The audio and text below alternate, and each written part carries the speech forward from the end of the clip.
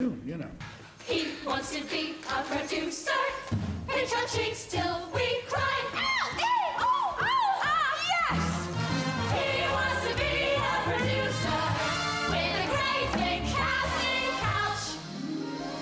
The brazen satire has been so successful, it's enjoying a revival in a modern film adaptation starring Nathan Lane and Matthew Broderick, and a new Broadway production.